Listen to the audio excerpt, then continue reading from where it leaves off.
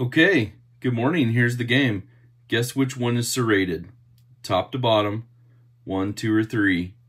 Good luck with it. Have fun. Don't forget to do something kind for someone.